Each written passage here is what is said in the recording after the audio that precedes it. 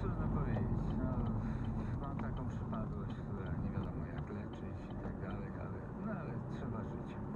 Trzeba żyć. Panie ministrze, w Strasburgu pan się wybiera dzisiaj. E, Jutro będzie przemawiał e,